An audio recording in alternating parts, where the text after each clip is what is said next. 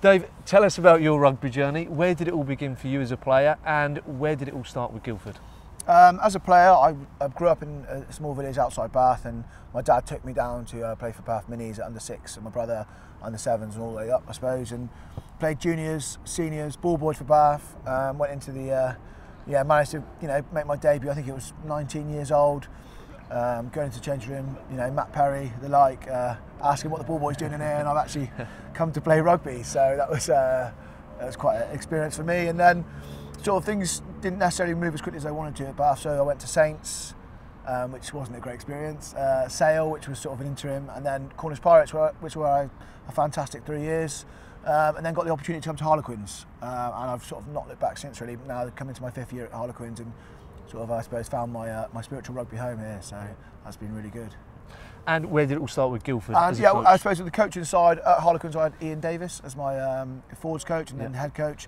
He mentored me through my level three. I went to St Just, did a couple of years there as a coach, and then when I moved up to Guildford, there was an opportunity um, four years ago now. I think well, five years, fifth season. So. Yeah. Came down to Guildford, met the guys, and they're you know aspirational club with big ambitions and sort of you know just down the road from training as well. Helped me out. it's always nice, and um, the, you know I've been out here ever since. Before we talk about the season and the team, I have to ask, how do you manage match days with your Harlequins career and, and Guildford? Um, well, we're lucky enough to have the support from the club at Guildford that we've got four coaches myself, Carl Sinclair, Ross Chisholm, and Matt Hawkes. Mm-hmm. So, myself, Carl, and Ross do Tuesdays and Thursdays, and then Matt Hawkes does Tuesdays and Saturdays. So, he's our match day coach. Yeah. We film every game as well, which is brilliant. We've got a guy, um, Paul Bridgeton, who does the filming. So, he does an excellent job. So, we, we put you know fresh eyes on it on a Sunday when we get the film through and then Matt obviously makes decisions, uh, key decisions for match day. Uh, obviously, if you play Harlequins, you can't make all the Saturday games, yep. but we do get to some because of the Friday, Sunday fixture list. I think last season I got to 12 out of 26, so I was pretty happy with that. And the ones we weren't there for, we managed to get on the right side, you know, more often than not. So that was good. In your experience, what is the difference between Level One rugby and the national leagues?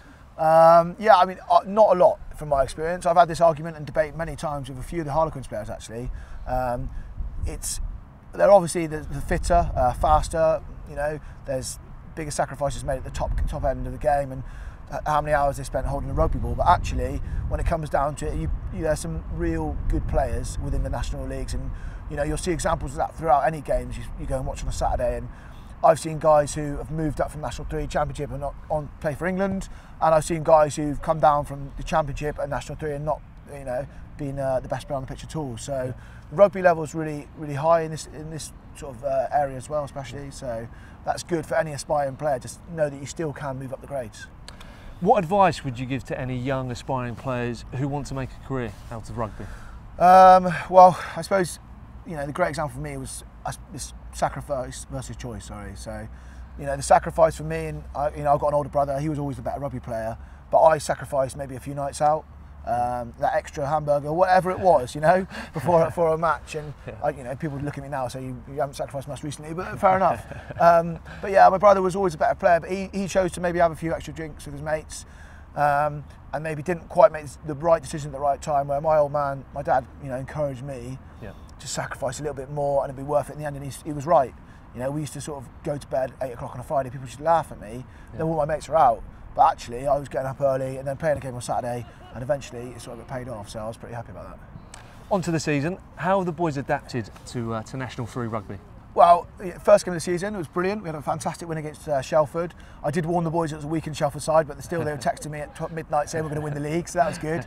Really good uh, atmosphere. And then we got brought down to earth straight away the week after at Dorking. So actually, it was a, it was a good learning curve for our guys and we've we've adapted well at home. We've managed to only get one win on the road, so that's, that's always tough. Um, but they know we've, we've gone up a league.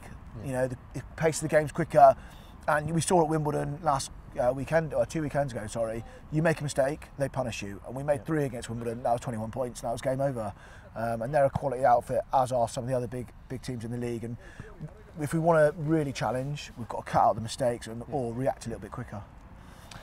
Four wins from nine, a mixed season so far where do you think you lost out on some of those close defeats, and what were the lessons that the boys learned? Um, initially, I'd say belief, especially mm-hmm. going into that Sutton and Epsom game. They got promoted with us, so we knew very much a lot about them. And for 65 minutes, we controlled the game. We were the better side, no doubt in my mind. Um, and then we just let them back into it. We didn't really believe we were going to win. um, and then we managed to sort of get over that. I, I suppose four or five weeks later, really, versus Amersham when we got our first victory Yeah. away, and realise we are, you know, in this league. We've we've had our lessons though. Tunbridge away and Hertford away. They've shown us, you know, how tough this league can be and how uncompromising it is. I think 33-10 and 52-10 speaks volumes really. So, you know, we'll we'll go we'll move forward, but we've got a massive five game, you know, uh, sort of period now coming to Christmas, um, and it starts with Westcombe Park. So who better than second place in the league? They've only lost once all season. They beat Wimbledon, you know, um, for us to test ourselves up against, you know, and try and put our home record on the line again. As you said, massive game this weekend against Westcombe Park. How have you prepared the boys for them, and how do you go about beating Westcombe Park? Um, well, luckily, I know the Wimbledon coach quite well, Nick Evans. So I managed to sneak a bit of footage off him.